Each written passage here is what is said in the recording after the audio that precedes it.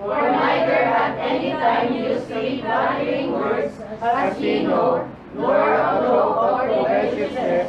God is witness. Okay, uh, ulitin ko na lang po yung binasa niyo sa 5 no? Ni- For neither at any time used we flattering words, as you know, nor a cloak of covetousness, God is our witness. Let's pray, Lord. Maraming salamat sa inyong mga salita again. Tuloy namin ang aming uh, mag-aaral about flatteries, Panginoon. Ito pa Panginoon, na again sa sanlibutan. Ito po yung uso, Lord, at uh, ito po ay hindi na tinutuling na kasalanan, ba't malinaw sa iyong salita, Panginoon, na ito ay naglilid din sa marami pang ibang kasalanan, nagmula sa mga sinungalingan. But we pray, Panginoon, maalis namin sa sistema namin, maapektuhan kami to learn. Uh, hindi, hindi kayo maapektuhan nito, Lord, and uh, hindi namin gayahin. At doon namin sa totoo, Panginoon, hindi namin gagamitin to, Lord.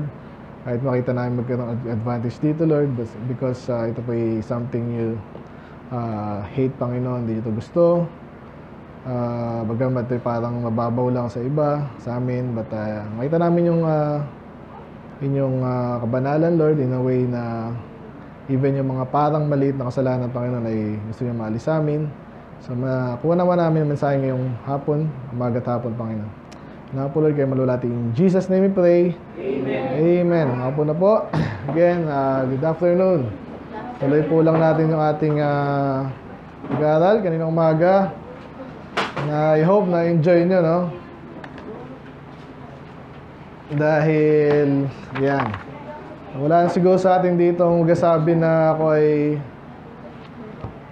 hindi lang bobola kahit kailan, no?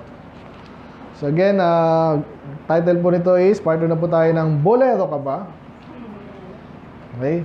Avoid the deceitful sin of flattery. So para maiwasan natin yan at hindi tayo maapektuhan kung ta sa ating ginawa, no? Malaman natin, nako. Okay? Kung hindi natin sila pwedeng pagbawalan eh. Pero at least hindi ka maapektuhan. Hindi mo gagayahin. Hindi yung gusto nila ma-accomplish sa'yo dahil lang binola ka ay nga, dapat di ka tablan. Okay? So, Nabanggit ko ba to kanina? Anyway, yung dinefine natin last time, flattery, pambobola, panluloko, ganyan. So again, meron tayong preaching before, yung uh, nabudol ka na ba? More on ano yun eh, talagang sinasadya, talagang mang, more on sa pera, ganyan. Um, ano ka, mas scam.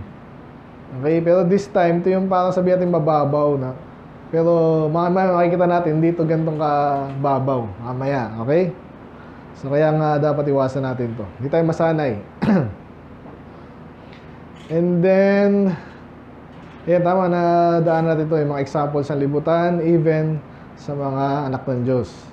So, point number one natin kanina, bakit tayo dapat uh, umiwas sa mga pambobola at mga bola, and then, wag sakyan, yung uh, kagustuhan ng marami, na bulahin nyo ako, okay lang, parang ganun.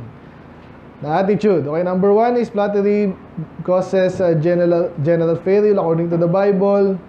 Pag ikaw ay sinabihan ng uh, flattery, uh, obviously, ang assumption natin dito, tinake mo siya na, oy, maya, maano daw ako, ma, talino daw ako, sige, daw mag-aaral. Mga ganun ba? So, sabi yung, the, the eyes of their children will fail. And then, number two is, uh, flattery is an ingredient of for respecting persons. Yung respecting persons na negative na, na connotation, hindi yung ginalang ko yung mag... Okay yung galangin mo yung dapat mong galawin. Pero yung sinasabing respect of persons dito, yung negative na ano nga, yung kay uh, anak ng kusino, mayaman, nakatira sa kung saan, uh, sakyan na natin yung kanyang uh, pahiging ano, respecting a person. So, especially doon, hindi ko nalagay dito, pero yung uh, distinct na ano dito, yung titles, di ba? Flattering titles. So, iwasan nyo yung, ngayon, talagang tinawag ko yung superstar, megastar, at ikaw na yung pinaka, uh, hayaan mo lang. Pero hindi rin ako iniwalang mararating mo yun kung hindi ka nag-compromise dun eh. Imagine nyo, ako ang pinakamagaling umawit, pinakamataas ang boses ko. Ano ba yung mga kalokohan ngayong ano?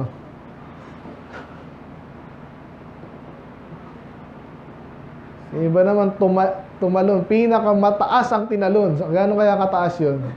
Yung dahil tumataas sa bundok eh, nakita niyo yung tum tumalon from outer space, eh, outer space, pero halos doon, Nakita niyo ba yun? Ang sumikat doon, Red Bull eh. Maliit yung tayo. Iba talaga ngayon, bundok na kasi ang gagaling ng mga ano ngayon. Lilipad-lipad muna, sabay sa parachute. Ako, pinakamagaling! So what? Pinakamataas to eh. Hindi ka mamatay yun eh. Oh, ngayon, so what? Eh, yung isa din, nabalitaan niya, namatay talaga. Bira nga mabalita yun eh. Ang dami po namamatay dyan sa parachute-parachute na yan, sumasabit kung saan-saan. Eh dahil pinagkakakitaan ng iba yan, siyempre hindi nila babalita yun. Eh, kawawa naman. Dahil nakamatay dyan. Kaya yan, kasi minsan gusto nilang pinaka ako, pina... Walang kwenta pala, no? So, and then, yun, may kinalaman doon, yung namatay. Number three, flattery causes death. Again, kinuha natin yung context sa Psalms 5.9 na ah, ginagamit lang yung bibig, no? Sabi doon, your uh, throat is an open sepulcher, sinungalingan, then flatteries, nakakamatayan. Mamaya, mas mal- malala pa doon, huwag kayong mag-alala. And then sa 4 is Psalms 12, 2 to 3. Ito ay ginagamit ng mga mayabang, proud, mahangin. Nagamit nila yan. So, huwag natin gaya, huwag natin gayahin. Meron tayong maraming tools tayo. Kaya sabi doon sa, ano ulit yun, sa 2 Corinthians 10, 6 to, ano yan? 6 to 10. For the weapons are not carnal, but, eh, fall pala. To the pulling down of strong. So, meron tayong weapons na hindi katulad na sa kanila. Kung sa kanila, patulad kanina, medyo nag-alala din ako sa nalagyan ng ano, lagyan, nabutasan ng ano. Ang ano doon, totoo yung sasabi ni Bad eh. Minsan nakakaasar na yung nabutasan ka ng gulong. Pero pwede pang mas malala doon. Again, kung nakikita niyo sa, sa Facebook, mga nagkasuntokan. Yung iba talaga pag nagkaasaran yun, no? Ewan ko lang ha, mga Amerikano, mga loko-loko din eh. Pero yung may iba, isa, nagkaganya, hindi pa nga nabunggo eh. Nagkaasaran lang, ba't ka sumisingit agad? Nakita niyo ba yun? Yung Inakyatan niyo. Eh, syempre, napikon din yung isa, di patayan na sila. Di ba? Imagine mo, may pupunta ka lang na, bibili ka lang ng ano, dahil hindi maayos ang utak mo, nasa bitang nga, tapos nagkapatayan na, di ba? Pero dapat dihado sila dito, may kasama kang malaki ba eh. Pero hindi nga tayo ganun eh, men. Okay na yon. Doon nag-aalala tayo doon. Again, hindi tayo mayabang. Ah, okay na yun. Ah, expected na yun. Minsan, yung katangahan ng iba tayo gumagasa sa totoo lang. Marami naman yan. Eh, hindi, lalo kung soul winner ka, sanay na sanay ka na dyan. Di ba? La, ganyan ang buhay natin. Sila na yung pupuntahan mong napakalayo, busy. So, yung puso natin tumitibay na dyan. No? The same time, tumitibay, tumitigas na naging malambot at the same time. So, so don't be proud. Kaya huwag ka ding manloko. Mambola, I mean, di ba? Hindi natin paparaanan yan. Ang paraan natin, ang gamit natin sa ating buhay, sa ating magandang tagumpay, hindi katulad ng ah, kanilang mga armas at ah, gamit. So, kaya ginagamit ng mga sinungaling, yung flattery, hindi natin kailangan gamitin yan. Okay. This time, last six tayo, no? Ano pa? Ito, medyo interesting. Ayun, wala lang akong ano eh. Music. Pero parang may narinig na akong music eh. Ano sa palagay niya music to? Ah, Proverbs. Kasi alam niyo yung... Hindi naman napunta ng beer house, pero ito yung mga ano eh. Ano mga ano doon? Okay, pakibasa na. Ready, go. Deliver thee from the strange woman, even from the stranger which flattereth with her words. 624. Flatter it with her words. So, ito naman. Ready, go. To keep thee from the evil woman, from the flattery of the tongue of a strange woman.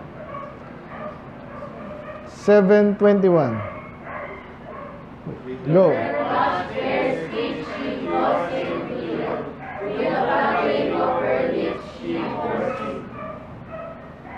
Sino yung bida dyan o yung kalaban? Ha? Strange woman. Ano yung, ta- ano yung tawag yan? Evil woman. Ano ba?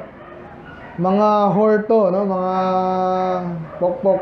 Okay? Hindi, hindi masamang word yun. May masama nga. Pero ginagamit natin context. Okay? Sinasabi natin kung ano sila. At ganun din naman, meron na ba tayong preaching about this? Hindi, sa Proverbs to kasi hindi na inabutan na iba. Pero inisa-isa namin Proverbs. Yan, no? Nakita yung tatlo pa lang. Tat- marami pa yan. Pero isa sa mga gamit niya talaga, okay? Paano siya nakakapanlin lang? Eh samantalang yung mga lalaki na, may asawa ka na, wala na sa iyo yun eh. Iniisip mo na lang paano ka palain ng Panginoon, nakapaglikod sa Diyos kung siyano ka. At kung kahit di ka sa Kristiyano, syempre ang iniisip mo na lang, di ba? Kung dahil pamilya mo. Bakit ka maloloko ng ganyan? Sige nga, meron din silang gamit. Okay? At hindi po nag-iisa yan. Di ba? uh, merong industry. Alam niyo industry? Bagay natin kanina Hollywood. So, hindi lang basta magaling umarte at umaarte siya, bayaran niyo ako dahil magaling umarte. Hindi, industriya. Pag sinabi industriya, alam niyo, di ba? Um, alam niyo yung industrial revolution. Ibig sabihin, nung dumami kasi yung machinery, ah, so hindi lang pinag-uusapan doon paano gumawa ng ng upuan. Hindi, marami silang ginagawa. Ang tawag doon sa ano, industry. Sa kabuuan nun. Okay? Ngayon, marami ng industriya, industriya. Ibig sabihin, marami klase. So, yun nga, isa Hollywood. Ang tawag ng entertainment industry. Ang birang entertainment niya, no? Do iba nga sinutuwa din dyan. Pero tayo rin, pag arnal tayo, di ba? Ayun yun eh, kaya dapat hindi. Pero may entertainment naman sana na maayos. Kaso, ang ginaabuso, nakita nilang lucrative eh. But anyway, yung nasasabi ko, ganun din yung ano namang industry yan. Ano tawag dyan? Ha? Hindi. Itong mga ah horse. Sex worker, parang ganyan ang ano dyan eh. Ano, ano mo? Basta yan, sorry. Isa, isang industriya na ah, ang, ang biktima nila, ano, basically, hindi lang lalaki, buong pamilya nun. Although ganun yung alcohol naman, ganun din, buong pamilya. Pero ito, ang ano yung tinitira niya, morality ng lalaki, okay, na of course, ang lalaki ay naturally, of course, kahit, ah, mas ano ng lalaki sa ganyan, okay? Mas mahina, yun ang ano dyan eh. Okay, banggitin ko na ng research na alam niyo ba yon para lang mabentahan daw yung mga lalaki, bebentahan ng cellphone. Pero pag lalaki yung bebentahan ng cellphone, dapat may babae lagi na naka kung ano man yan. Di ba? Papakita na mo kailangan. Kasi nga, psychology daw ng lalaki, ganun. Ay, okay, okay yan ah. So, iba yung normal, pero iba yung in-abuse. Okay, kaya in-abuse to, ano daw gamit ng mga whore, mga ano ba tawag dyan, iba ba?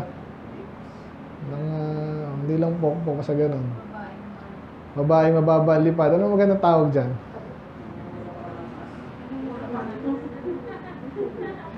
Medyo, ano, hindi mga ah, magandang pang-asal din. Para, malandi. So medyo matindi tong nga natin, tinatopic natin ha, pero again, ina-address natin. Totoo to, nakakapangloko to. Anong ginagamit niya? Flattery. Okay? So, balikan natin yung mamaya. Sabi to, with her fa- much fair speech, napakagaling magsalita. Okay? Akala ko basta pinapakitaan. Pero yung iba dyan, nagsasalita, ganun din yun. Uh, obviously, wala akong masyadong experience dyan, pero makikita mo yun sa mga pelikula, di ba? Ang pogi mo talaga. Mga ganun. Kala mo totoo.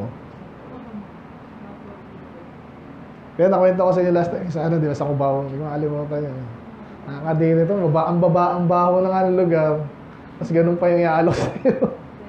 of course, sa sa mga higher society, meron din yan, okay? Yan, Miss Universe. Yan, baka nanonood pa kayo niyan. Hindi nyo supportahan yan. Ganun yun, mas mga mahal lang.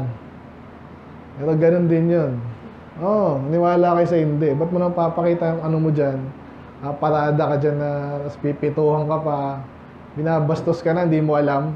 Pera nasa utak nun. Okay? So, sa pagsasalita lang daw, puwersa siya. Hindi, pwede mo pwesahin meron. Para pag syonga-syonga nga, pag tanga-tanga rin yung lalaki daw, sasababubulahin mo lang, Uy! Okay? So, ba na, ano yun? Alala ko yung preaching tayo sa Judah nga, di ba yung Judah kasi. Yan, sa TikTok pala, di ba? Pero sa Judah rin, yung, alam mo na, parang TikTok din yun eh, na-appreciate sa TikTok kasi dati nagbabayad ka pa para makakuha, di ba? Ganyan, katulad ng mga pokpok yan. Binabayaran nila yan. So yung si Judah, mayroong tagpo doon na ganun eh, parang TikTok na hindi, hindi na sila binabayaran, sila pa yung nagbabayad. Malala na, no? Men? So, yan. So, kaya mag-ingat. Kung sabihin pogi ka, eh kasi palibas ito yung mga lalaki na walang mababa yung tinatawag nilang self-esteem. Tawag namin dyan, lonely boy. Hindi yung...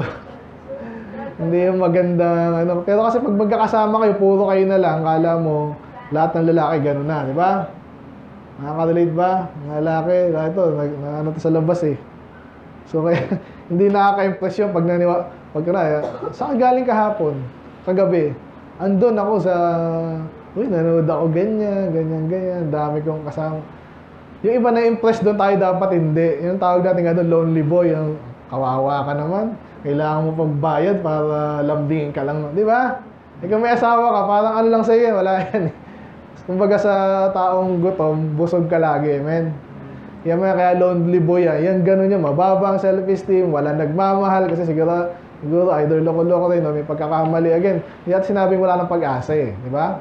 Pag-asa naman supposedly lalo sa Panginoon. Kung ayusin yung buhay mo, makakuha ka din ng maayos na mga pangasawa, babae o lalaki, di ba? Pare-pareho tayo. Kaya balik tayo dito. Kasi hindi po to something na hindi natin alam, okay? Kaya nga minsan yung mga kwentuhan nating ano yung asawa ni ganyan, ang kapatid mo sa ganyan, di ba? Minsan nakakalito yan eh. Lalo, buti sa atin sa church kasi nasa tamang context tayo. Nalulungkot tayo pag may ganon. Medyo magulo, pero hindi rin naman natin lalo, hindi naman ka, ah, kasalanan ng bata. Okay? Pero magulo yun. Men. Pero kung doon na tayo sa kalagayan gano'n, yun nga, sumunod na, na tayo sa Panginoon, na sa Panginoon, na talagang may, to the point na may ginamit nga siya, di ba? Kilala niyo may mga ginamit ng Panginoon na nagkamali rin sa buhay. Okay, yung mga katulad niya, katulad mga, mga pokpok, di ba? Si, sino yun? Joshua. Si Ruth, di naman, Moabites lang yun. Si Sa- ang asawa ni Salem, lolo ni David, Rahab, okay? So, yun, si ano rin, yung anak din ni, ah, anak din ni, yung, asawa ni ano, Judah, hindi asawa, yun nga, Hor, di ba? Sino yun? Tamar. So, sure, pwede ka pa rin gamitan ng Diyos, pero, ikaw yung sumunod sa kalooban ng Diyos. Kung nagkamali ka, pag-isiyan mo yun, wag mo na, iwanan mo na. Kaya, pero still, walang pumipigil sa atin na pag-usapan natin ng mababa yan mga ganyan. Kasi nga mababa talaga. Kaya nga, mabaing, mababa ang lipad. Okay, mababang babae yan. So, hindi natin gusto yan. Hindi tama yan. At yan ang ginamit. Kung ikaw yung pumatol ka sa mababa lipad, ano ka? Mas mababang lipad. Ganun ko lang. At least, pumantay ka doon, mababa lipad niya, bumaba ka rin. Morality. Mo- morally. Bakit ka... Eh ba, may asawa na iba. Tapos sabihin, ano yung sabihin? Mas... Lonely boy ka, no? Huwag mo sisihin yung asawa mo. Lalo pag lalaki ka, eh, control mo dapat yan. Okay, so gusto ko lang sabihin, ang hina mo naman, no? kung lalaki ka, flinator ka lang. And then, pogi mo naman. Oh, ang tagal mo, hindi sabi sa akin yan. Ah. Ewan ko sa'yo. Ano, balik natin yung kanina. Ah, ano yung kanina? Ah, 624. Ang ganda kasi yun eh. Sabi po dyan, to keep thee. So, ang pinag-usapan dito, wisdom. Okay, yung umpisa ng 6 is wisdom. Isa sa mga ginagawa ng wisdom, nilalayo ka sa mga masamang babae. At ang binanggit na ginagamit niya or strange woman, ganun din po dito sa 2.16, no? So bakit strange? Kasi hindi mo asawa eh. Walang masama sa ang lalaki sa babae, babae sa lalaki. Kapag may asawa kayo, ano kayo? One flesh. Okay? Kaya tawag dito, strange woman na nagwa-flatter. Oy, pogi. Ganun pa yan eh. Parang bading na yun ah. Pogi. Naniwala. Ang baba ng self-esteem mo. Okay? Pero again, balik tayo sa main topic natin. Flattery. Hindi mo kailangan mag-flatter. Na, si Mrs. sinabihan akong pogi. May iniwala ako doon kasi Di ba? Yun talaga yun eh. Pogi ba? Pag timpang mo ang kape, okay, oh. Pogi talaga. Sarap, di ba? Wala, ano yun, yun ang kasiyahan natin, amen? O yan. Hindi mo kailangan bulahin, di ba? Alam na eh. Kaya masaya sa church yan yung lagi yung hindi nyo makikita sa sa, sa church pa, ah, sa, sa labas ng church pag nagbulahan ng hindi hindi bola eh. Minsan may laman na ano eh, di ba? Di ba? Nakasamahan, di ba? Hindi maganda sa church pag kikilig-kilig ka pa dyan eh, di ba? Mamaya, ito mga to. Okay? Di ba? Kaya lagi dapat masaya si Mrs. Ah, baliktad. Masaya dapat si ano. Kasi minsan naghahanap yan pag hindi makita sa'yo daw, di ba? Yung hinahanap. Mali yun, okay? Pero para hindi na rin maghanap, maging spiritual, buti dinala mo sa church. Amen? Sino mas malakas sa inyo? Nagsuntukan na ba kayo? Malakas ka sila, naalala ko lang. Joke lang po yun. So, ulitin natin ha. So, anong point natin dito? Bakit dapat tayong umiwas sa flattery? Gamit ng mga pokpok. Kanina proud. Pero alam nyo ba ang flattery? Yung sa mga description ng flattery, flattery sensual. Kasi again, hindi, hindi ko ipa-flatter yung asawa ko. Alam yung totoo pag sinabi ko, oh, cute mo ngayon, ganda mo ngayon. Bango-bango mo. Alam mo yung mga pag nakatulog na yan. Hindi yung flattery. Hindi flattery. Pag sinabi yung flattery, insincere. Yung sinabi ng sobra-sobra, overboard. Diba? Kaya sensual, ibig sabihin, ganun po ang sensual, ibig sabihin, yun nga, sobra-sobra, nambobola. So kaya ganyan po yung mga yan. At mag-iingat tayo. Gamit nila po yan. At may gusto pa akong ano yun eh. Yun, yun, actually, yun na yun. Yung mga whore. Uy, I love yung mga gano'n, yung sobra-sobra. Di ba, yung lagi nilang usapan gano'n, I love you talaga. Eh ako pa naman, meron akong, sorry pero hindi ko matanggal sa utak kayo kasi ganun sila. Meron na naging friend nga, naalala ko na kwento sa inyo, di ba? Ano, kahit saan nyo, I love you, you're an inspiration, ganyan, ganyan. Eh, siyempre masama yung loob ko kasi yung babae nyo, pinagpalit niya sa high school friend namin. So, yung pa lang, masama na yung loob ko. Pero kaya hindi ko pinapansin. Eh, Wala magagawa. Sige, love kayo. Sige, sige. Ayun yung nangyari, di ba? Alam niyo na ba yun? After, yung naghiwalay, pinagpalit ng babae, lalaki. Adultery. Nasa na yung pagmamahal dyan? Yun ang tanong. Ba't mo kailangan mag-overboard na ganyan? Kanino kayo nagpapakitang ano, magmamahalan kayo? Pag talagang mahalan kayo, pakasalan mo. Amen. Mag-anak kayo. Kasi mahirap mag-anak pero masaya. Pero mahirap. Pero lalo kayong mababind. Yun ang, to, yun ang mag, mag-ibig. Di mo kailangan pakita kung kani-kanino. Ba't gano'n? Si, by the way, sino mga customer? Sino pala yung pansin nyo? Sino customer nyo mga yun ng mga love story? Sino ba? Yung mga totoong may love story na maganda? O kasi yung mga, hindi kailangan yun. Meron ako sa bahay niyan eh. Ang customer ng mga love story, ano tayo yung mga ano, mga bigo, di ba? Nga, mga lonely boy. Sige, kilig-kilig. Kasi, ano tayo kasi gusto kong kiligin. No? Ako, kahit ayaw kong pakilig, kikiligin ako eh. Nagtrabaho ko sa, sa umaga, at uwi ko. Nandiyan na si Miss, di ba? Wala. Kasi busog ako. Amen? Nakakarit yung mga ano, ganyan. Yun ang pangarapin nyo, mga young people. Hindi yung kaya ang hina nyo sa gantong bagay kasi wala eh, para ang gutom. Gutom na gutom sa pag sa pag-ibig. Ano sabi na? Gut kahit kung Nasa mo. Pagtingin, oh, kahit konting pagtingin, ano yun? Awawa ka naman. Pag may asawa ka, ma- hindi konting pagtingin lang yan. Ako. Titigan, kahit ayaw nyo na. Minsan, alam nyo na mag-asawa, di ba? Natulog, ka, kasama na kayo habang umahawak yung isa, isa tululaway. Walang, wala, walang ano. Hindi ka magkukulang. Itong mga lonely boy, lonely girl yun. Kahit konting pagtingin, awawa. Kasi yan eh, ganyan sistema kasi nila eh. Tapos para makabingwit, gano'n na naman niya. Kunwari, iniwanan ng isa, iniwanan yung isa. Paano ako makakabingwit? Eh, alam nila meron na akong past, di ba?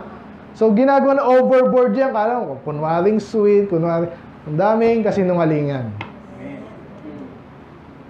I'm sorry, kasi, yan eh, sinunod nyo yung sinunod nila. Okay, yung ah, ways ng sanlibutan, bahala sila. Ang hirap ng ganun. Okay, kaya iwasan natin yung flattery. Kahit sa anong bagay. So again, ha, ulitin ka para ma-convince tayo. General, it causes general failure, ingredient for respecting person, causes death, tool of the proud, device of conceited and hateful people. Ito ba yung, oh, na, na, na, yan, oh? So, mga conceited and hateful And then, instrument of liars. Tapos natin kayo mga So, ngayon naman, ba't dapat mong iwasan yan? That is sensual. Men? Eh, di ba maganda yun pag nasa lugar? Pero again, hindi na sensual ang tawag natin doon eh. Pag ano eh, di ba? Hindi na sensual. Ano yun? ah, totoong pag-ibig. Okay? So, ayoko na magtagal doon. Pero natuwa ba kayo doon? So, ang ganda ang ano ng Bible eh. no? So nakita natin strange woman. Ganun ka rin ha. Obviously sa lalaki yung instruction dito eh. So umiwas ka dyan. Ngayon gan babae ganun din.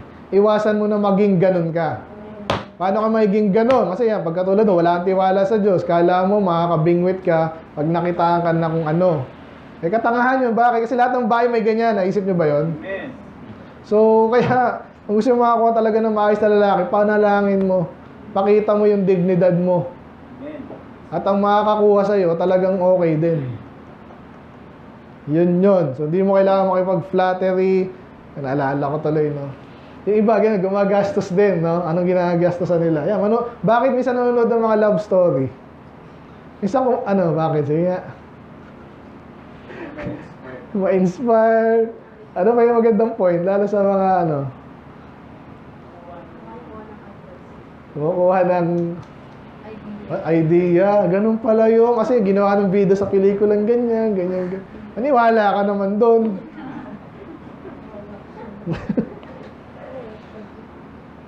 kung sa totoong buhay mo maging, maging mag, kung gusto sa totoong buhay mo maging successful ka, dito ka kumuha ng advice. Yan, sa mga ano nyo, mga nakatanda sa atin, mali man or tama, of course yung mali, wag mong apply. Amen? Nakita mo iyong kapatid, nagkamali, and then sinabi niya, "Ay, huwag nang gayahin. Di ba? Ganon. And then yung naging successful naman, hindi gayahin mo kanyang success story. Hindi yung sa ibang lugar ka, kukuha ng tips sa ganyang bagay. Okay? Okay, sana nakuha natin yun sa point number 8. Hindi ko nalagyan. Mali ah. Buti meron akong katapos po ng 721 2019. Okay? Proverbs muna tayo. Ano pa? Bakit natin kailangan iwasan yan? Pakibasa po. Ready, go. He that goeth about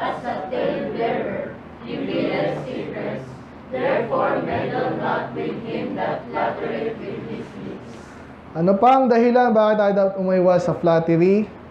Okay, kahit joke ni joke yan. Ginagawa yan, mas style yan, tool. So, iwasan natin yan. Bakit? Kasi, according to this, he that goeth about as a tale, ano yung tale bearer? Hindi yan nagkukwento lang ha, hindi yan ah, storyteller. Obvious lang yung uh, reveal it secrets. Maganda ba mag-reveal ng secret? Depende sa sekreto. Kunwari, sekreto na yan, hindi naman makakasama sa iba, personal niya. Sabihin kasalanan o mali niya na hindi naman makakapekto sa iba. Na hindi mo kailangan pagsabi pa. Di ba? Ngayon, kung makakasama sa atin, kailangan natin malaman, tulad ng mga satanista, kunwari, ginagawa nila doon. Ina-expose natin yung para makita na gano'n sila kasama. yung mga normal na tao, wag nating ah, tangkilikin nga itong mga loko-lokong to, mga satanista. Di ba? So yun, ini-expose natin yun. Ganito ginagawa nila, mapatay sila ng mga bata, iniinom nila yung dugo. Iniwala ba kayo doon? Ah, hindi naman totoo yan. Ginagawa yun. Totoo po yan. Sa Hollywood, eh, hindi totoo. Well, totoo eh. Nasa Bible din yun. Ginagawa nila yan. So, yun ang okay lang na expose, yung masama. Amen? Pero yung sikreto na hindi naman kailangan, kunwari, wag na, ayoko nga. Kaya nga pag sinabi ko, di, di na sikreto. Pero may, kunwari, may, makaka, may nakakahiyang experience kayo. Na, itong dalawa, magkaibigan ngayon. Ilang taon na kayo? 13 ka na? Mag-13 ka na? Ikaw? Mag-12 pa lang. 12 ka na ngayon. Kunwari ngayon, yung bata yan kasi sabihin ko na nga lang sa inyo pero may loko-loko rin kasi ang classmate. Eh. Grade 3 pa lang naman ako. No kaso, loko-loko, hindi ko alam. Grade 3, ilang taon na yun? 10.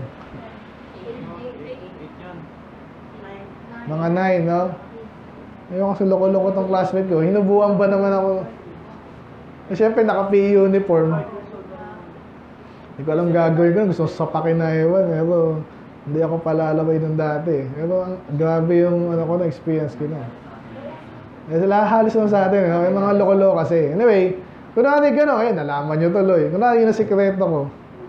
Kaso hindi naman yung sikretong ano yun, eh, no?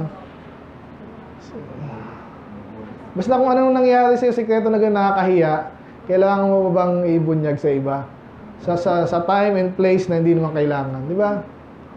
So, pero yung mga walang magawa sa buhay, ano, para lang mabigyan sila ng pabol nung iba, for example, ito, kunwari, gusto, kunwari kaaway ni Stephen si Ezzy, and then gusto kong i-place si Away niya siya. Gusto kong i-please si Stephen, nari. So ako ngayon, ay may alam ako yung AC. Ayan, sabihin ko dito. Hindi map makapagpigil. Okay, kaya ang point natin, masama, di ba? Number 8, flattery is a favorite for the gossipers. Maniwala kayo, yan yan. At again, sana hindi nyo na ma-experience, pero kasi ako, yun nga, nung bata-bata rin ako, wala akong magawa minsan sa iniiwanan lang ako sa bahay. Manonood kami ng TV nung bahala ka sa, bahala sa buhay mo. Eh, syempre, merong lalo dati, pagkatapos sa Itbulaga, chismis time na yan. Yan yung ano, puro chismis na yun. Nung syempre, nung ano, di ko alam eh, di panood, nanood ka lang, kung bata ka. Puro ganun. Yung nag-uusapan, minsan nag-aaway-aaway na sila. Pero, well, alam niyo ng TV, gusto lang yan. Pera, rating niya, mas na... Wala sa pakialam kung pinag-uusapan niya, gusto lang may manood. Para may mag-advertise. So, yun, nahayaan lang nila. E samantala sa Bible, di ba, gossip, masama. Pinag-uusapan yung masama, masama. Tapos tatawa ng, pag tatawa ng yung masama, eh lalong masama. Di ba, sabi sa Bible, the, ano ba yun, the wicked make, uh, ano ba yun, sport of foolish. Tingnan natin ha. Alala ko lang kasi, hindi po ito maganda.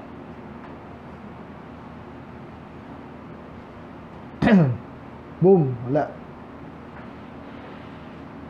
Pero konti lang, itong beses lang to eh. Proverbs, yan. It is a sport for a fool to do mischief. Okay, but a man of understanding at wisdom. So, para sa mga loko-loko, ginagawa nilang laro yung paggawa ng masama. Ito pa. So is the man that deceiveth his neighbor and say it, am I not in sport? So, manloloko siya ngayon. Eh, joke lang. Napakasama po ngayon.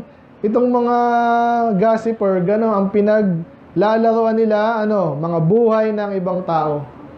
Pangalan ng ibang tao. Karangalan ng ibang tao. Nakalalaman ng flattery. Eh, sinab- binanggit na kanina eh, di ba? Balikan nga natin. Nakalimutan ko tuloy. 2019. He that goeth about as a talebearer revealeth secrets. Therefore, meddle not with him that flattereth with his lips. Okay? Saka isa pa, ibig sabihin din niya, pag flatter, eh, sigura, siguradong ano yan. Isa sa mga hindi ko makalimutan, ah, ako kasi nung ano nga ako, nung sabi sa inyo, nung second year college, yan yun yung ano ko, nung, ano ko eh, buhay ko eh. So medyo nahiwalay ako sa barkada, which is good kasi nga Sa ama kami dati, umalis ako doon kasi hindi namin kaya yung tuition, tapos hindi naman ganun aganda sa palagay ko ha. So, umalis ako noon. So, wala na akong barkada no, which is okay naman. Kaya ang ginawa ko, ang ginawa ko, nagtambay ako ngayon sa sa library. Okay? So, isa sa mga na pagbabasa ko doon sa mga ganong ginawa ko, library, yun nga, yung article about character. Hindi makalimutan yun eh. And kaso nga si Mormon nga yun, si Stephen Covey. But anyway, may mga tama rin siya sinabi. Kaya sabi niya doon, pag ang isang tao ay hindi makapag-keep ng sikreto nyo sa inyong isis... Sabihin na, usapan natin to tayo lang nakakalam ha. Oo, sige. Tapos siya mismo, nakita mo, nag, nagsasabi ng sikreto ng iba sa'yo. O, Pero sa akin, magtiwala ka, hindi ko sabihin sa iba, "Ay, hindi, sinabi mo nga sa akin yung sikreto ng iba eh. So, wala kang karakter. Sabihin no, hindi ka totoo. Hindi nyo ba yon? So, ganyan po yung mga gossiper, talebearer. Hindi makakapagpigil yan. Yan ang kahinaan nila. Okay, naalala niyo ba yung kwento rin ng pastor? Kwento ko lang siya. Sabi nung ano, ginagawang compromise to. Pero anyway, ilagay natin sa tamang context. Ha? May tatlong pastor daw. Eh, so, nagkakwentuhan daw sila. Sa kwento ni pastor, nasa bar pa lang sila. Uh, Ginagayain na, uh, kwentong barbero ng konti tayo. Okay? Sa tatlong pastor daw nag-uusap. Di sabi ng isa, may aaminin ako sa inyo, huwag niyong ano, pagsasabi ah. Kasi ako, kahit pastor ako, umiinom pa ako eh. Kaya nga nasa bar kayo, di ba? O sige, hindi namin sasabihin, hindi namin sasabihin. Oh, kapatid, yun, nagganon pa eh. Medyo konting barbero ah, sige. Yung pangalawa no, sige, nag-aamin na rin tayo ako, aamin din ako. Actually, ako, ah, minsan, ano pa ako, tumitingin pa ako sa di ko dapat tingnan eh. Ano man yan, okay? O sige, let's pray for each other, ganun pa eh. No? Loko-loko eh. Pero anyway, o ikaw naman, ano kahinaan mo? Yung pangatlo. Ha? Ang kahinaan ko kasi pag ano eh. Pag may narinig akong ganyan, hindi ko maiwasang idaldal eh. Yun lang, di ba? Anyway. Na, pero at least nakuha niya sa akin, ano no, yung thought, no? Na iwasan niyo maging ganun. Okay? Eh, may wala akong sabi, wala kayong pag-usapan eh. Ba't, ba't kayo nagkasama ng sobrang tagal na wala kayong magawa kasi we're just hanging out. Anong hanging out? Kung busy kang tao, naglilingkod ka sa Diyos, tsaka sa lipunan, tsaka sa pamilya mo, wala kang time nga sa ganyan eh. Kasi ba, nami-miss ko din minsan ba? Pero wala eh. Kung may time lang, yun lang yun. Hindi yung, ba, wala akong magawa, pwede mo pumunta dyan. Magkita tayo sa Diba, nagkasawaan na rin kami ni Bad. Pero minsan gusto gawin niya, pero minsan wala eh. Kanya-kanya tayo ng buhay, man. So, huwag kayong tail bearer. Lalo daw! Mag-aralan natin yan sa mga babae, man. 1 Timothy, chapter, ano ba yun? 4 ba yun? Basta yun. In, may inclination ng babae sa ganyan. Therefore, dapat kayong maging busy. Amen? Huwag kayong maging tail bearer. And then, may iwas tayo sa mga bulahan. Amen? Diyan nangyayari yan eh. Iba, gusto lang ng kausap, bubulahin niya, bula, oh, so, oh, sarap naman palang kausap eh. Kasi sinabi mo, ganyan ako kahit hindi. Yan ang totoo. Kaya, number eight, flattery is a favorite for the gossipers. Okay, so wag nating gayahin. Kasi binababa mo yung level mo doon. Okay? Ibig sabihin, hindi ka masyadong busy or wala kang, sabi nga nila, ano ba yun? Intelligent people talks about ideas. Okay? Yung mga average people talks about events. Eh, yung mga walang wisdom daw talks about other people. Hindi nyo ba yun? Kasi wala kang pag-usapan. Ano mo ginawa na ganyan? Ay, ganyan kasi yan. Ganyan. Kasi wala, hindi mo na na-challenge yung utak mo. So yun, so sana hindi tayo maging gossiper. Next! Ano tayo? Apat. 28 naman. Proverbs 28, 23. May basa, ready, go. Iyan that rebuketh a man afterward shall find more favor than he that flattereth with the tongue. 29.5. Hindi go.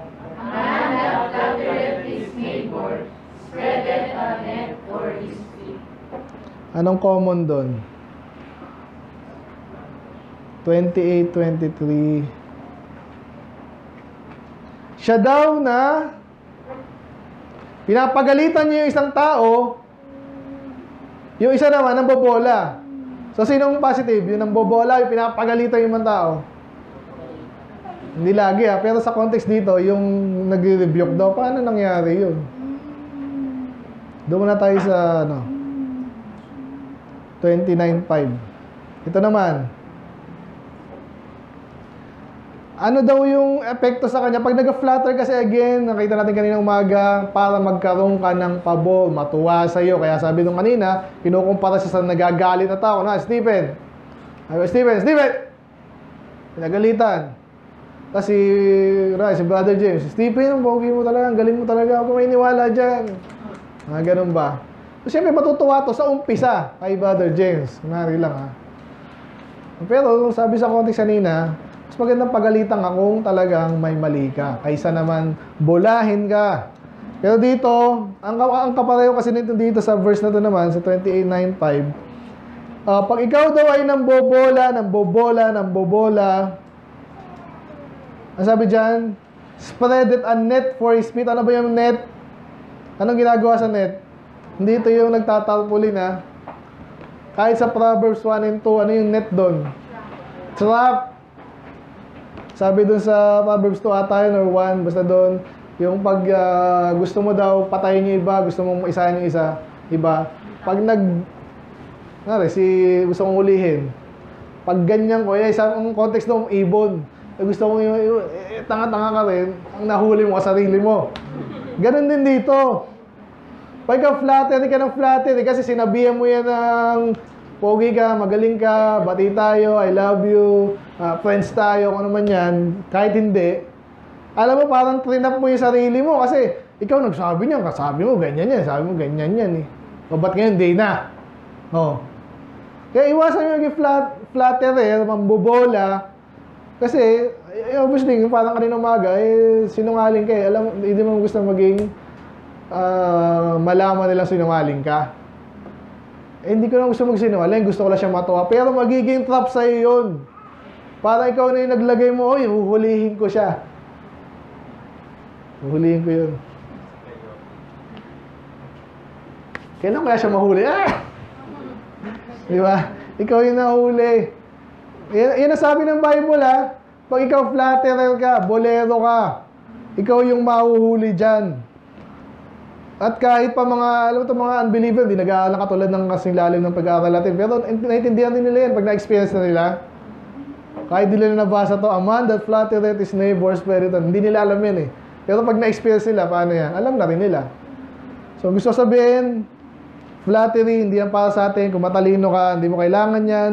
Kahit sa palagay mo, kailangan mo yan. At nakita mo yung iba, nagkaroon ng pabol dahil sa pamobola. Hindi. Later, sila mismo magkakasira-sira. Amen? Parang yun, naalala ko tuloy yung aking post. Ewan ko, nilike niya, parang hindi niya nilike eh. So, ang bago kasing uh, balita ngayon, itong mga, alam mo na, si Facebook, tsaka yung gobyerno, sa COVID pa rin, pandemic. Okay? Anong ginawa pa dyan? Ano nangyari? So, syempre si... Nag-uusap-usap yan eh. O, sige, kunwari may virus ha, tatakotin natin yung tao para bumili ng bakuna. Problema, hindi mo naman kaya itago lahat yan, di ba? So, may mga nakakapansin, sandali, sandali. Si Bill Gates, sinetap niya yung ano, bakuna, tinutulungan siya kunwari ganyan. May, yung mga tao nag-observe din. So, ginawa ng ibang tao, eh pinakalat yung katotohanan. Sa panahon natin, ang parang arena na ngayon, yan na, social media. So, anong ginawa daw ng gobyerno? Para maibenta nila at hindi sila mabuking. Nung ginawa nila, kinausap nila yung Facebook, Hoy, pag may nagsasabi dyan na peke itong pandemic, ha, pag nagsasabing may nagsasabi dyan yung bakuna, hindi gumagana, burahin nyo. Ganun na sinabi. Yun ang sinasabi ko matagal na sa inyo. Kasi napansin ng mga ano eh. Ba't nabura to? Fake news daw. Ano pa kailan mo kung, kung mali to, di malalaman ng taong mali to. Pag, sinab pag, pag tinanggal mo yung aking karapatan na magsalita, ano ka na? Ha? Tyrant ka na. Okay? Eh, syempre, di naman talaga nangyari ba talaga yun? Eh, ngayon, alam na natin nangyari. Bakit? Nag, sila mismo yung nagbanggaan. Kasi nangyari, dito, dito chismis ha, na recorded to. At matagal ko sinasabi sa inyo din. Si, ah, sa isang, ano, anong tawag to? Basta isa-isang ah, bagay naman na pinapatawag ng gobyerno yung Facebook para mag-explain sa isang bagay na hindi ko maalala kung ano. Hindi ano, hindi sila pumunta. Wala akong pakialam dyan. Kumbaga yung Facebook ang inaano nila. Kinakastigo nila. Eh, naalala ng Facebook. Eh, may parang si Nathan the Prophet din. Di ba? Parang alam niyo na, blackmailan. So, blinakmail ngayon ng Facebook yung gobyerno ngayon. Oh, sige ah, ganun pala. Sige, pinala ngayon pinalabas nila sa tao ngayon, nalaman ng mga tao yung anong pinagsususpetsahan natin, totoo nga. Na yung gobyerno pinipuwersa sila na burahin yung mga information na may kinalaman sa kalokohan nila. O paano ngayon yan? So, sinong pahiya ngayon? Pareho sila. Di ba? So, pero more on yung Biden administration kasi, ayan, nakasulat oh, sinasabihan nyo kami na aburahin nyo aburahin nyo. So, yung mga tao ngayon, wala nang tiwala sa Biden administration. So, buta tayo napunta doon. Ito. Di ba? So, sila-sila mismo yung nagka buhol-buhol. Sila mismo yung nagano. Kasi ikaw, bayan mag-flatter kayo dyan, mag-flatter kayo dyan. Di ba? Sa case nung yun nga, ah, ang flattery na ginagawa nila, totoo to, totoong virus to. Kahit hindi. O sige, okay lang yan. At least ah, kikita naman yung ano mo. Siyempre yung mga tao, yung Facebook yan, para malaman yung totoo, di ba? Kasabutahin mo yung ano. So, bandang huli, at sinasabi pa yung mga ano, ano sinasabi nila? Biden na sabi nila, ay magkaka-COVID lang yung mga makulit, yung mga makulit na hindi nagpabakuna, di ba? Yun yung sinasabi niya eh. Kaya lang na may pandemic pa kasi hindi siya nagpabakuna, eh siya nagpabakuna, ilang beses siya nagkaroon ng COVID. Dalawa, o paano yun? Di ba? So obviously, kitang-kita ngayon ng tao, kaya nga ang gusto sabihin lang dito, wag niyong gagamitin yung flattery na kahit pa, ah, hindi, trinator ko yun, ba't di niya ginantihan ng ano, hindi mo masasabi kung pareho kayong flatterer, pareho kayong mambobola, ano, magtaksilan mo kayo sa isa, isa sinong talo doon? Magkakaroon ka ng minus point, parang gera din, minus point, minus point, hindi pareho kayong minus, pareho kayong talo. Okay, punta tayo punta doon, sige. Natin to, naalala ko lang eh. So, tail bearer, and then, ah, ito na nga, ito na nga, sorry. Sa point number 9 na tayo. And then, balik tayo sa 28-23. Ano yung pareho sa kanila? Yung isa, trap. Yung isa, mas maganda na yung mag-rebuke ka. Amen? 28-23. Katulad niyan. Kaya yung iba naasa sa akin kasi nga sabi ko, para kayong mga ano eh, para kayong mga lab rats. Sakit mo na magsalita eh, para sinabi tanga kami. Minawarningan nga eh, kung mali, di sabihin mo yung mali. Hindi nagalit ngayon. Ngayon, hindi ko na nila sabihan kasi wala eh. Sinabihan kayo na hindi mo lang kayo nagsabi ng, so, ay sorry ah, sinabihan ka namin ng ganyan, di kami naniwala. Kaya mas maganda na yung pagalitan mo kaysa yung flatterer. Eh, hindi, huwag mo sabihin kasi mo offend eh. May mga bagay na nakaka-offend, dinala sa atin yung laban eh. Niloko to. Wawarningan mo. Alam ka naman, di mo offend. Lalo yan sa doktrina lagi natin pinag-uusapan. Eh paano mo naman di wawarningan yung mga kultot na biktima ng kulto? Paano nga? Sige nga. Iba, ganun na style. Basta sabihin mo lang ang katotohanan. Eh yung taong medyo, alam mo na, mahina pa ano, biktima ng mahinang alam mo na, di sila nasanay sa salita ng Diyos and then may mga detalye silang di nila alam. Ano, magpapahiwatig ka na lang, pastor, pahiwatig mo na mali yun. Eh, mabuti nga makukuha niya mga yan. Kaya ang ginagawa natin, ano, tahasan. Sabihin mo, ito mali, ito yung totoo, and then ito yung mali. Hindi pwedeng yung totoo lang. Ah, basta assume na yung, yung hindi dito, mali. Kaso nga iba, kailangan mo pangalanan. Di ba? Minsan, kailangan pangalan. Even mga tao na mga offend. Nakuha niyo po yon At nangyayari yan kahit sa mga pastor, huwag mong offend, mo offend yan. Sabi dito, mabuti ng pagalitan mo. Kaysa naman yung uh, wala siyang mali, flinator mo. Pwede bang walang mali? Lalo pag kitang-kita niya, anong sabi dyan? Ayun, so talo siya. Talo ka, talo siya, dahil hindi mo sinabing totoo, ang gusto mo, flattery. So, ganun din sa kanina, parang kang nagtapo na. Kaya ang point po dyan, ano, flattery is used to obtain favor but ultimately fails. Wala kang panalo dyan, kasinungalingan yan eh. Kailan ka pa nagkaroon ng positive na lumabas sa kasinungalingan? Eh, positive naman, binobola ko nga siya para matuwa. Eh, mas maganda ng pagalitan mo. Nakita niyo yun? Diyan pa ba kayo? 51 minutes pa lang ako. Binibilang ko sarili ko. Nag-zone out na ba kayo? Meron pa tayong tatlo. Okay, sige. Mas malalim pa tong 10. Okay, so again, gusto lang sabihin, ultimately failure parang pwede na palang number 1 to eh. No? Anyway, sige. Ezekiel to medyo, medyo mas malalim to. Sorry. Mga dalawang oras tayo ngayon. Hindi. Makibasa. Ready, go.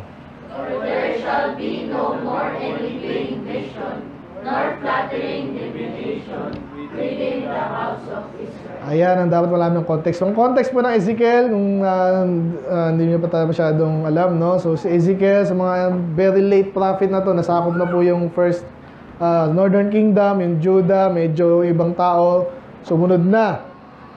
Pero, sila po ay ah, gusto pa rin masalba ng Panginoon, kaya may nag-place pa ng warning sa kanila ngayon. Ah... Anong sinasabi nitong wala nang magkakaroon ng vision at flattering divination? Ganito po kasi yan. Yung isa sa mga magandang example ko dito, yung naalala niyo yung nagbabasa kayo yung si Jehoshaphat. Isa mga ginawa niya is magandang, maayos na hari ito. Sabi doon, he did the- which was right in the sight of the Lord.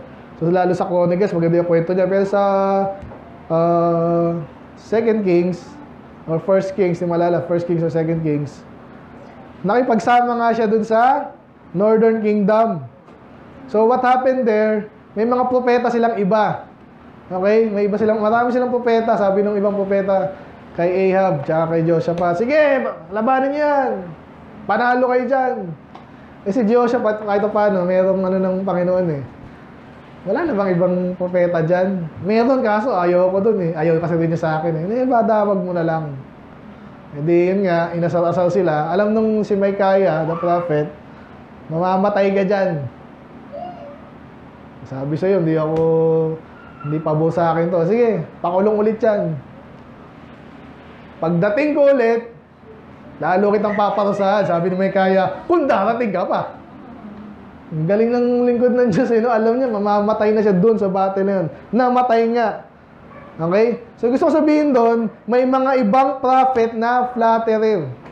O sige, kaya mo yan. Kasama mo ang Diyos. Lalo, mga pakinggan mo, huwag kang manghina, kasama mo ang Diyos. Kilala mo ba yan? Sabihan mo ng ganon. Sige nga. Di ba yung mga ibang Diyos ganyan? O, mag-pray ka lang, kasama mo ang Diyos. Paano mo nalalaman yun? Kaya tayo pag nagsabi ka, pray, di ba, ano na ginagawa natin, tinatanong namin, para at least ma-advise ka kung kasama mo ang Diyos dyan o hindi. Kasi itong mga, mga flattering to, sabi niyan, kung ano yung gusto mong marinig, yun ang paparinig sa'yo. O, God bless you, kahit sino ka pa. Gusto mo sa langit? Sa langit ka pupunta. Ha? Yun. Pero darating daw yung panahon, ito yung maganda dito eh. Parang ang dating ng Panginoon dito, kalaban, pero actually hindi. Kasi ang Diyos ay mabuti. Amen? Kaya ang point ko dito, God will ultimately cause it to cease. Okay, again ha, number 10 tayo. Bakit tayo dapat umiwas sa flattery? Kasi ang Diyos mismo ang magkokos yan na mawala yan. Ngayon talagang siguro yan ang parang drugs mo, no? Eh, gusto ko lagi may nagsasabi sa akin, maganda ako, maganda ako, maganda ako, maganda ako, matalino ako, maganda ako. Darating yung panahon, gustong gusto mo yan, na-addict ka na dyan, kaya magpo-post ka ulit ng ano man yan. Post mo lang para sabihin lang, pogi ako, maganda ako. Mawawala din yan! At ang Diyos ang magpapaalis dyan. Ganun nangyari dito. So kung isang bagay may mawawala din, gag, ano ba yan? Magiging masaya ka ba dyan? Dito lang ako masaya, pastor, eh, kahit hindi ako pogi, gusto ko may nagsasabing pogi sa akin. Huma- humanap ka ng ibang way, ng ibang paraan, ng ibang source ng kakasiya mo, hindi yung flattery. Amen? Yan ang gusto ko sabihin. Kasi ang Diyos ang magpapahinto dyan. Yun lang. Yan pa tayong dalawa. Tapusin na natin to. Ito yung pinakamatindi. Yung dalawang to. Ngayon, dyan pa ba kayo? Amen. Intak na kayo eh. Daniel. Daniel. Okay, so ito yung common din eh. Naaral nyo po yun. Natapos natin Daniel, Revelation. Ano daw gagamitin ng Antichrist?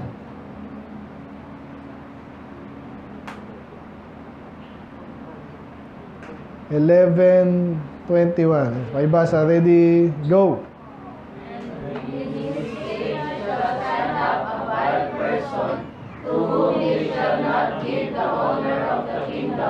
but he shall come in peace of obtain the kingdom by flatteries. By flattery. So magkakaroon daw siya ng kaharian sa pamamagitan ng pakipaglaban ba? Ng talino, pagiging maki Diyos, blina siya hindi. Flattery ang gagamitin niya. At hindi yan natapos sa isa. Meron pang dalawa. Okay? Tingnan niyo to. The same. Okay, basa. Ready, go. Such as do wickedly against the covenant shall be corrupt by flatteries. But the people that do know their God shall be strong and do exploit. Ganito yan. ah. Yung, yung Antichrist nga talaga nag, uh, nanluloko na dahil niloloko. Pero lahat ba maluloko?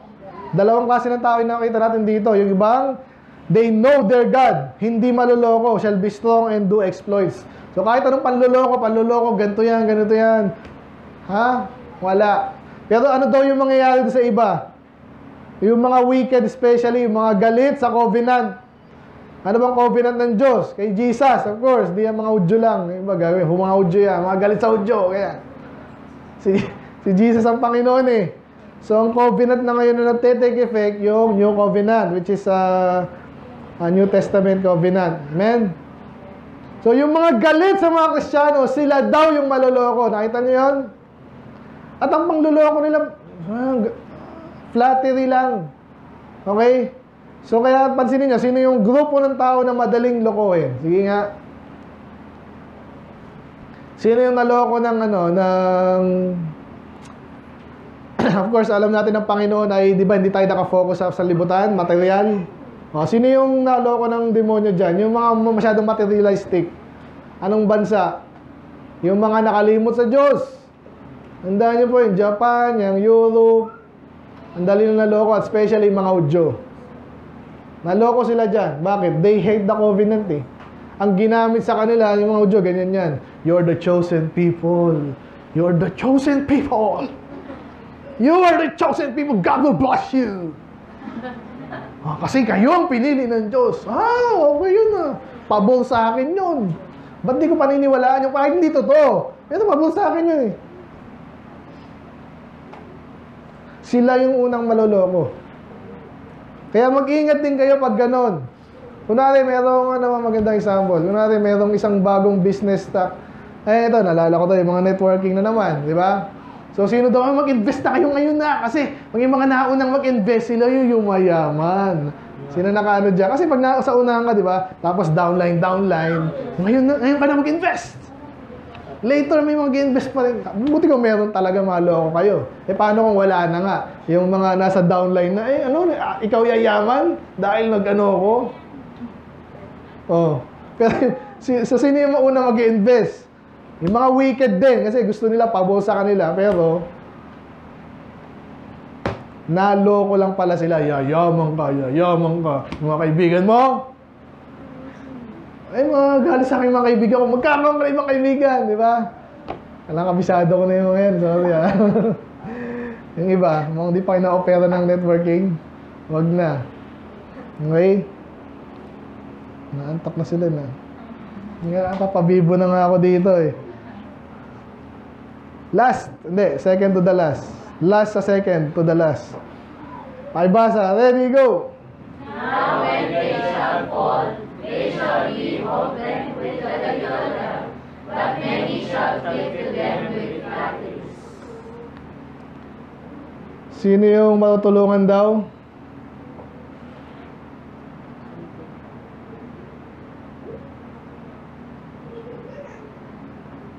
So sila pa rin, no? Matutulungan sila, pero konti lang. Tapos, puro flattery lang. Obviously, negative na naman yun. So, kunwari, parang yung magandang meme na sinare ko rin na, na nanakaw ko lang saan. Yung mga baptist daw na hindi soul winner, ganito daw yun. Nakita nyo ba yun? Naalala nyo? I-search nyo sa ating page. May apat na square. Sa una, sabi ng isa, Help! Help! Nalulunod ako! Sabi ng mga baptist na hindi soul winner. Tapos inapiran lang. Appeal! Bye-bye. Parang ganun eh. At least sinabihan ako ng God loves me. Pero sa impyerno rin ako punta. Minsan iba na kontento na dun eh. No? So ano nakita natin dito? Kaya number 11, bakit kailangan nating iwasan niya bukod sa sa proud yan, sa mga chismosa yan? Ano yung pinakamalala? Sino yung pinakamalalang tao na gumagamit ng flattery according to these verses? Sa Daniel at especially sa end times. Sino yan?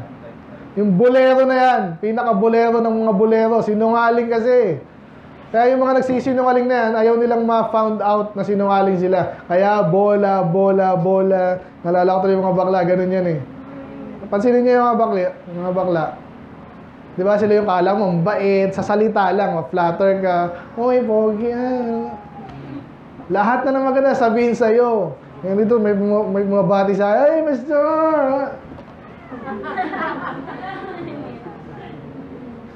Wala akong narinig.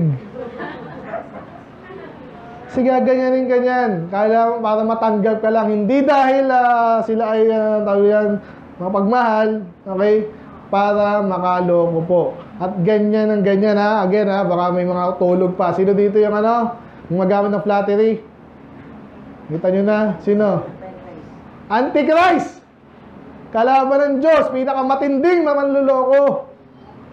So kung gamit niya yun, tool niya yun, gagamitin mo rin, ay gagamit ko sa tama. Walang tama doon. Hindi yan ang gamit natin. Eh gusto ko pastor, kunwari, natanggap ako sa trabaho, kaya sabihin ko ganyan, ganyan. Eh, Importante yung trabaho, di ba? Oo naman, kaso maluloko ka. Hindi tayo ganun. Ay, sana, eh, balik tayo sa kaninang babae na nagkaroon ng pass, di ba? Anong gagawin mo sa bago mong prospect? Wala, wala pa akong anak. Wala pa. Patay ka dyan. Aminin mo na lang at least, amen? Intindihin mo rin yung kalagayan mo na medyo mahirap na yan. Kaya sinasabi ko pa sa iba, ha? Kung merong ibang ganun dito, hindi, nang, hindi ko kayo tinitira. Wala naman, alam ko. So, pero, ano? Antichrist. Sino gustong kabady-body na Antichrist? O yan. So, huwag natin ga- gamitin. Di natin kailangan yan. Amen? Ugali niya yan. Gamit niya yan. Di natin kaya. Last. So, yung kabaliktaran naman yan. Doon tayo sa ating pinaka-text, di ba? Hindi tayo iiyak. Ngayon ko lang. Ano sabi dyan? so, nung si ah, Paul ay nagpapa, hindi nagpapaalam, pero pinapaalala niya. Amen? So, si Paul ay dakilang tu- tunay na lingkod ng Diyos. Amen? So, bakit tayo dapat umiwas sa flattery? Kasi yung mga tunay na lingkod ng Diyos, hindi ginamit yan. Hindi kahit isa pa to sa umpisa lang. Sa umpisa, bubulahin ko siya. Pero bandang uli, spiritual na. Eh, ba sabi ni Paul? For neither at any time we use flattering words eh. At alam nyo po yan. Kung kasama kayo kahit doon, sa alala dito, wala akong binola sa inyo. Amen? Eh, parang magstay siya dito, parang magtay, sabihin ko, pogi siya, kahit hindi. Di ba? Kaya, galing mo talaga. Inaisip ka ganun, kahit mali. Di ba? Ay, wag mong banatan yung ano niya, yung katoliko. Wag mong banatan para ano. Sabihin mo lang ano. ah, ano ba? Ano rin yan? Okay din yan. Kahit kailan na ganun ba ako, okay din yung Mormon. Ay, sisi, okay din naman yan eh. Hindi, bakit natin hindi tayo nag-flatter? Kasi hindi yan gawain ng lingkod ng Diyos. Amen? So yun ang pinaka pinali natin. Bukod sa ginamit dyan ng Antichrist, ang mga sinungaling, ng mga flat earther talaga yung basa ko dito. Mga later mag-fail yan, okay? Mga chismoso, chismosa, mga sensual, mga pokpok, mga sinungaling, mayabang, conceited, hateful people, okay? Mga respecter of persons, kung gusto nyo talaga maglingkod sa Diyos, format ni Paul ang gayahin natin. Amen. Hindi natin kailangan yan ever. Sabi niya, tahasan sinabi niya, kahit kailan, di ko ginamit yan. Hindi, never. Hindi ako ng bola, hindi ako ng sinungaling para magkaroon ako ng pabo sa inyo. Amen? So, iwasan na po natin yung flattery.